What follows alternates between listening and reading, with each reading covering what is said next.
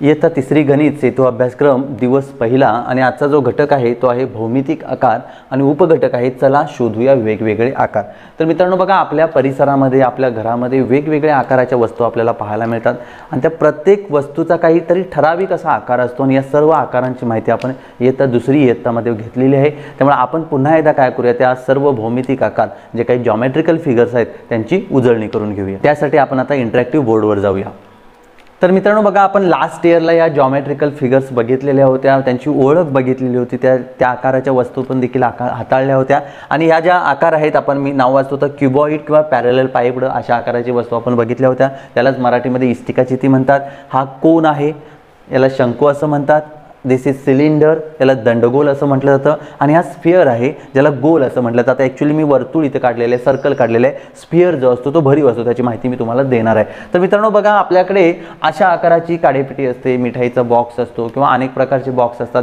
ते सर्व या आकारामध्ये असतात आणि त्या आकारांना विटेचा आकार असेल बॉक्सचा आकार असेल काडेपेटीचा आकार असेल त्या आकारांना क्युबॉईड किंवा पॅरेलल पाईप असं म्हटलं जातं. यालाच मराठीमध्ये इस्टिका चिती असं म्हणतात. हे लास्ट इयरला आपण बघितलेलाही आहे. दुसरीमध्ये. आता महत्त्वाची गोष्ट म्हणजे याचा जे सरफेस असतो पृष्ठभाग असतो तो पूर्णपणे फ्लॅट असतो फ्लॅट सरफेस असतो. आपण बघा हात फिरून बघा तो तुम्हाला फ्लॅट लागणार बरोबर? सपाट लागणार असा. तर याचे सर्व पृष्ठभाग हे फ्लॅट असलेले आपल्याला पाहायला मिळतात. आता त्याच्यानंतर याचे एज आणि कॉर्नर्स. एज आणि कॉर्नर्स म्हणजे एज मीन्स कडा कॉर्नर्स मीन्स कोपरे. तर बघा या ज्या लाईन्स आहेत याला एज असे म्हणतात किंवा कडा असं म्हटलं जातं. आणि हे जे पॉईंट आहेत त्याला कोपरे किंवा कॉर्नर्स असं म्हणतात. तुम्हीच काउंट करायचे आहेत आणि तुम्ही स्वतः ते फाइंड आउट करायचे की याला किती एज आहेत आणि किती कॉर्नर्स आहेत ते. ओके तर ही ॲक्टिव्हिटी तुम्ही करा. आता त्यांचं आपण नेक्स्ट जॉमेट्रिकल फिगरकडे येऊया. दुसरी आपली भौमितिक आकृती आहे. कोण ज्याला आपण शंकू असंही म्हणतो. आपण मित्रांनो क्लाउन स्कॅप किंवा फुल स्कॅप बघितलेली असेल म्हणजे विदूषकाची टोपी आपल्याला माहिती असेल बघा. किंवा आपण बर्थडेमध्ये आपण टोप्या घालतो बघा बर्थडे कॅप ती सुद्धा अशाच आकाराची असते बरोबर ना? त्याचबरोबर मेहंदी कोण असेल किंवा आपला आईस्क्रीम कोण असेल आपण आईस्क्रीम खातो बघा तो सुद्धा याच आकाराचा असतो. आणि त्या आकाराच्या तो जो आकार असतो त्याला कोण किंवा शंकू असं म्हटलं जातं. तर आता याचे जे सरफेस आहेत पृष्ठभाग आहेत तर खालचा जो सरफेस आहे हा खालील.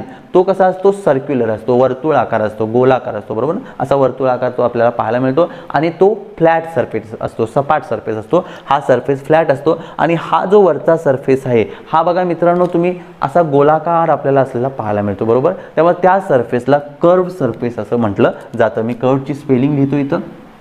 C U R P E D curve surface आणि हा जो आहे तो फ्लॅट सरफेस आहे. फ्लॅट म्हणजे सपाट पृष्ठभाग आणि कर्व सरफेस म्हणजे वक्र पृष्ठभाग. बरोबर? वक्र वाकडा असलेला असा गोलाकार असलेला.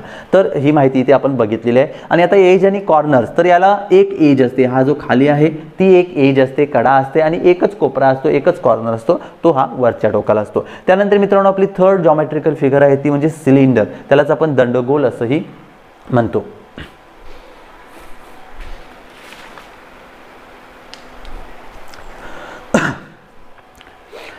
त्यानंतर मित्रांनो आपली थर्ड आकृती जी आहे किंवा जॉमेट्रिकल फिगर आहे ती म्हणजे सिलेंडर त्यालाच आपण दंडगोल असंही म्हणतो. तर मित्रांनो बघा तुमच्याकडे तुम्ही पावडर जी लावता तोंडाला पॉन्ड्स वगैरे कुठली असेल ती तर त्याचा डबा बघा या आकाराचा आपल्याला पाहायला मिळतो. तुमच्या घरी धान्य साठवण्याचे डबे असतात तांदळाचा डबा असतो लाडूचे डबे असतात बारीक मोठे खूप डबे असतात ते सुद्धा बघा या शेपमध्येच असलेले आपल्याला पाहायला मिळतात. किंवा तुमच्या पप्पा मम्मींकडे जर डिओ असेल सेंट असेल आपण मारतो ना बरोबर? त्याच्यासुद्धा त्या बॉटल्स असतात बघा त्या अशाच आकाराच्या असतात. तर या शेपला सिलेंडर किंवा दंडगोल असं म्हटलं जातं. बघा नीट बघा अशा पद्धतीचा शेप असतो तो. तर आता याचे जे सरफेस असतात त्याला एकूण बघा तीन सरफेस आहेत. हा टॉपचा सरफेस आहे हा बॉटमचा सरफेस आहे आणि हा मधला सरफेस आहे. तर हे जे टॉप आणि बॉटम बॉटमचे दोन्ही सरफेस आहेत ते सर्क्युलर असतात म्हणजे गोलाकार असतात. बरोबर? आपण डबा बघितला वरून गोलाकार असतो खालून पण गोलाकार असतो. ते सर्क्युलर असतात आणि ते ते जे सरफेस असतात ते फ्लॅट सरफेस असतात सपाट असतात.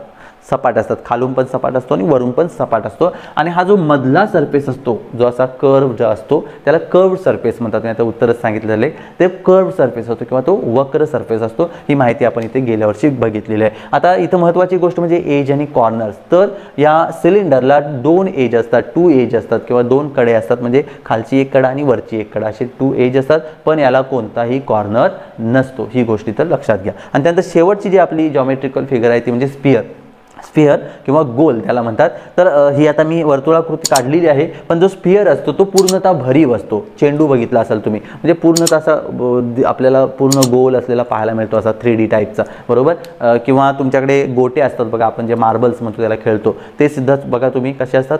स्फेरिकल असतात. किंवा भाकरीसाठी किंवा चपातीसाठी मम्मी जे गोळे करते अशा पद्धतीनं ते सुद्धा स्फेरिकल असतात. लाडू स्पेरिकल असतात. तर त्याला स्पिअर असं म्हणतात गोल असं म्हटलं जातं. आणि त्याचा जो सरफेस असतो तो पूर्णतः कर्वड सरफेस असतो. वक्र पृष्ठभाग असतो त्याचा. पूर्ण कर्व असतो. त्याला फ्लॅट कुठेही नसतं. आणि यानंतर एज आणि कॉर्नर्स याला झिरो असतात. म्हणजे स्फिअरला किंवा गोलाला कोणतेही एज आणि कॉर्नर्स नसतात. बरोबर? कडाही नसतात आणि त्याला कोपरेही नसतात. तर ही सर्व माहिती आपण इयत्ता दुसरीमध्ये बघितलेली आहे आणि आपण त्याची आता उजळणी केलेली आहे. तर आता आपण काय करूया? आपला जो सेतू अभ्यासक्रम आहे तिथे जाऊया आणि त्याच्यामध्ये काय उजळणी दिलेली आहे ती पाहूया. तर मित्रांनो सेतू अभ्यासक्रमामध्ये पहिला जो पार्ट आहे तो म्हणजे थोडे आठवूया. हा तुम्हाला प्रत्येक वेळी आपल्याला पहिल्यांदा थोडे आठवूया. म्हणजे मागच्या वर्षीची थोडी उजळणी करूया. हा सदर प्रत्येक वेळी तुम्हाला पाहायला मिळणार आहे. तर बघा याच्यामध्ये काय दिलेली आहे माहिती? दिलेल्या वस्तू व आकार यांची जोडी लाव. तर इथे वस्तू दिलेल्या आहेत आणि त्यांचे आकार पण दिलेले आहेत पण ते शफल केलेले आहेत मिक्स केलेले आहेत. तर तुम्हाला ते मॅच करायचे आहेत त्यांच्या जोड्या लावायच्या आहेत. म्हणजे याचा जो योग्य आकार आहे डब्याचा तो त्याला जोडायचा आहे. याचा आकार आहे तो त्याला जोडायचा आहे. योग्य आकार इथं मॅच करायचे आहेत. आपण आता यांची माहिती बघितलेली आहे. त्यानंतर नेक्स्ट पार्ट आहे तो म्हणजे अध्ययन निष्पत्ती किंवा हे मला समजले. तर मला त्रिमितीय आकार आणि द्विमितीय आकार ओळखता येतात. म्हणजे मला थ्री थ्री डायमेन्शनल आकार आणि टू डायमेन्शनल आकार ओळखता येतात. म्हणजे ह्या सर्व आकृत्या तुम्हाला ओळखता येतात. तर आपण ते टिक करायचं आहे किंवा आपण पुन्हा जर आपल्याला समजलं नसेल तर हा घटक आपण पुन्हा समजून घ्यायचा आहे त्यानंतर पुढचा महत्त्वाची गोष्ट आहे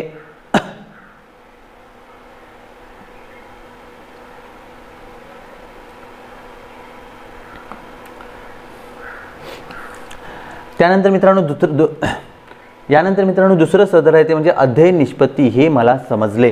तर बघा इथे मला त्रिमितीय आकार आणि द्विमितीय आकार ओळखता येतात. आता त्रिमितीय म्हणजे त्याला आपण थ्री डायमेन्शनल असं म्हणतो. थ्री डी म्हणतो थोडक्यात बघा शॉर्ट फॉर्म थ्री डी किंवा थ्री डायमेन्शनल असं म्हणतो. त्रिमितीय आणि द्विमितीय म्हणजे टू डायमेन्शनल किंवा त्याला टू डी असं म्हणतो. तर आता याच्यामध्ये मित्रांनो फरक काय आहे बघा?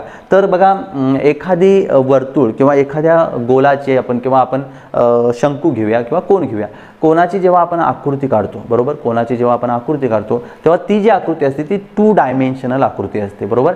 आणि ज्यावेळी आपण प्रत्यक्ष कोणाच्या आकाराची एखादी वस्तू हाताळतो मग त्याच्यामध्ये कॅप असेल क्लाउन्स कॅप असेल फुल्स कॅप असेल मेहंदी कोण असेल किंवा आईस्क्रीम कोण असेल तर तो बघा त्याला थ्री डायमेन्शनल असं म्हणतात. म्हणजे प्रत्यक्ष आपल्यासमोर आहे ते. बरोबर? दॅट इज थ्री डायमेन्शनल म्हणतात. तुम्हाला थ्री डी पिक्चर किंवा थ्री डी चित्र तुम्ही बघितलं असाल म्हणजे आपल्याला असं वाटतं की ते माझ्यासमोर प्रत्यक्ष आहे. म्हणजे जेव्हा एखाद्या एलिफंटचं नुसतं चित्र असतं ते टू डायमेन्शनल असतं.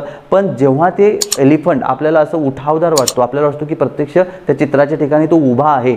तर त्याला थ्री डायमेन्शनल असं म्हटलं जातं. याच्यासाठी मित्रांनो तुम्ही काय करा गुगलवर तुमच्या मित्रांच्या तुमच्या आईवडिलांच्या मदतीने काय करा टू डी असं सर्च करा. म्हणजे two D pictures two dimensional pictures किंवा टू डी ॲनिमल पिक्चर्स किंवा थ्री डी ॲनिमल पिक्चर्स मग तुम्हाला तुम हा जो टू डायमेन्शनल आणि थ्री डायमेन्शनलचा जो फरक आहे तो लक्षात येईल.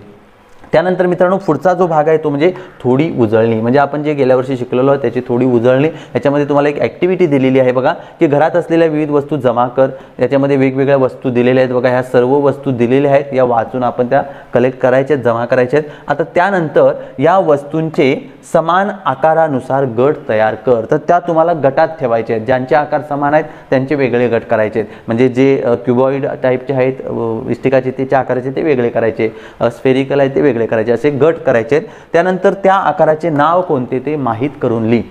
आता ते जे आकार तुम्ही वेगळे वेगळे शफल केलेले आहेत किंवा गट करून ठेवलेले आहेत त्यांचं नाव जे काय आहे? म्हणजे आता मी नाव सांगितले जे क्युबॉइड असेल म्हणजे इस्टिकाची ती असेल किंवा सिलेंडर असेल किंवा कोन असेल बरोबर ना? तर अशा प्रकारची ती नावं लिहायची आहेत. आणि त्यानंतर ते गट दादा किंवा ताईला आई किंवा बाबा यांना दाखवून बरोबर आहे की नाही ते पहा. आणि ते गट तुम्ही तुमच्या घरातील ज्येष्ठ व्यक्तींना दाखवायचे आहेत. आणि ते बरोबर केलेत की नाहीत ते त्यांना चेक करायला सांगायचं. तर ही ॲक्टिव्हिटी आपण करायची आहे. त्यानंतर बघा मित्रांनो इथं आपलं पुढचं सदर आहे थोडीशी मदत. तर इथं मित्रांनो तुम्हाला या घटकाशी रिलेटेड दीक्षा ॲपची लिंक दिलेली आहे. तिथे एक व्हिडिओ आहे. तो जाऊन तुम्ही अधिक माहितीसाठी बघू शकता.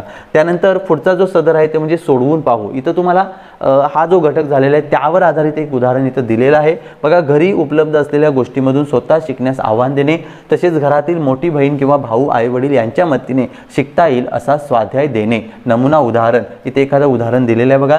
घरी उपलब्ध असलेल्या भाज्यांच्या मदतीने मुलांना आकार शोधायला लावणे तसेच घसरगुंडी तयार करून त्यावरून वस्तू सोडायला लावून निरीक्षण करायला सांगणे. तर हा जो अभ्यास आहे तो तुम्हाला तुमचे आई वडील किंवा शिक्षक देतील. त्यांना ते तुम्हाला वेगवेगळ्या प्रकारची ॲक्टिव्हिटी देतील या ठिकाणी तर त्या तुम्ही करायच्या आहेत. त्यानंतर तुझ्या घरी असलेल्या भाज्यांची नावे सांग. हा एक ॲक्टिव्हिटी दिलेली आहे. तर तुमच्या घरामध्ये ज्या ज्या भाज्या वापरल्या जातात आहेत त्यांची इथं नावं सांगायची आहेत. त्यानंतर बघा पुढचं आहे. चित्रात दिलेल्या भाज्या ओळख व त्यांचे निरीक्षण कर. तर इथं चित्रामध्ये काही भाज्या दिलेल्या आहेत बघा व्हेजिटेबल्स त्यांचं निरीक्षण आपण करायचं आहे. त्यानंतर पुढचा जो प्रश्न आहे बघा सारख्या आकाराच्या भाज्या शोध व त्यांचे वेगवेगळे गट कर. तर सारख्या आकाराच्या म्हणजे तुमच्या घरामध्ये ज्या भाज्या आहेत त्या सारख्या आकाराच्या भाज्या तुम्ही शोधायच्या आहेत आणि त्यांचं वेगवेगळं गट करायचे आहेत. त्यानंतर चित्रात दिलेल्या आकारासारखी कोणती भाजी तुझ्याकडे आहे ते सांग आणि लिह. तर चित्रामध्ये जे आकार दिले आहेत यासारखी तुमच्या घरामध्ये कोणती कोणती भाजी आहे ती आपण इथं सांगायचे आहे. तर हे प्रश्न जे आहे ते आपण कंप्लीट करायचे आहेत. आणि त्यानंतर आहे बघा सर्व मला जमले. म्हणजे तुम्हाला हे सर्व जमलं असेल तुम्हाला वस्तू हाताळता येतात त्यांचे आकार ओळखता येतात तर आपण टिक करायचे आहे. आणि अजूनही थोडंसं तुम्हाला डाऊट असेल समजलं नसेल तर मला मदत कोपऱ्याची अजून मी मदत घेईन. म्हणजे मदत कोपऱ्यामध्ये जी दीक्षा ॲपची लिंक दिलेली आहे तिथे जाऊन तुम्ही तो अधिकचा व्हिडिओ बघायचा आहे. तर अशा प्रकारे मित्रांनो आपण या पहिल्या दिवसामध्ये आपण भौमितिक आकृत्यांची ओळख बघितलेली आहे. चला तर आता या घटकाची तुम्ही उजळणी करायची आहे आणि आपण आता दुसऱ्या दिवसाचा दुसरा उपघटक बघूया.